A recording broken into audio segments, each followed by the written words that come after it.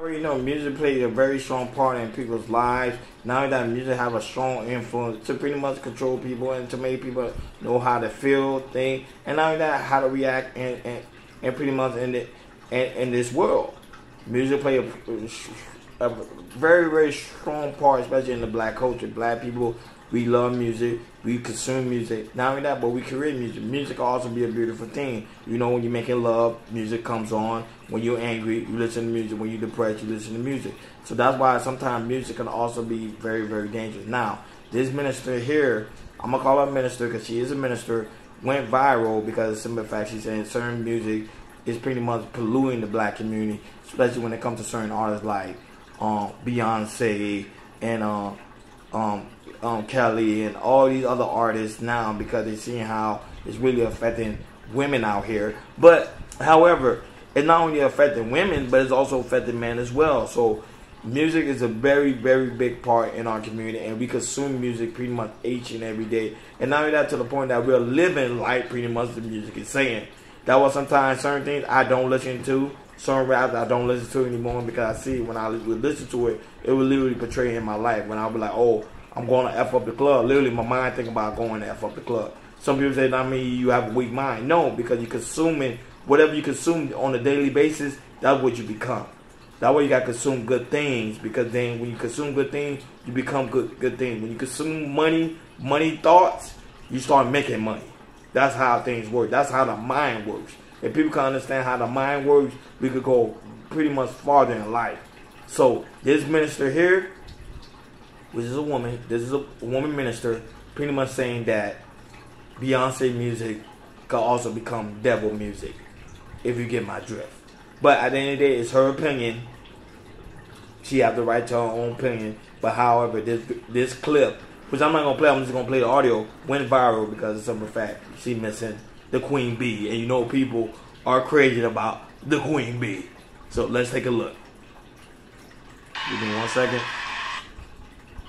I even, uh, I even. Who told us you got to be a witch to be black?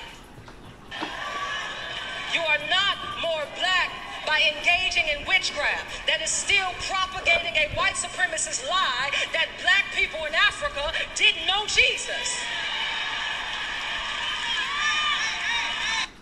I am angry that the powers that be in social media and in culture and in music and in Beyonce's music and in Kehlani's music and in whatever the other and in Santa, Kalani. like I'm angry that they are really trying to convince us that all spiritualism is the same. And we have digested this impurity and this we, we want so bad not to be legalistic that we actually become profane. We want so bad to have all these freedoms that we are entertaining demons, and you wonder why you are depressed. And you wonder why you are anxious, and you wonder why you have nightmares, and you wonder why I don't know who. But but remember, I stated that in my opening monologue of the simple fact how music do play a big part in our lives, and not only that, whatever you be, consume, you become. She does make a good point when it comes to uh, like certain people mood out here because of the music you are you are really consuming. Whether you believe Jesus or not, whether you're a Christian or whatever religion you're in, whatever you listen to, you become. So if you eat like toxicity on a daily basis, you become toxic you become drama because that's what you eat every day, and that's why with me, I try to pretty much stay away from drama.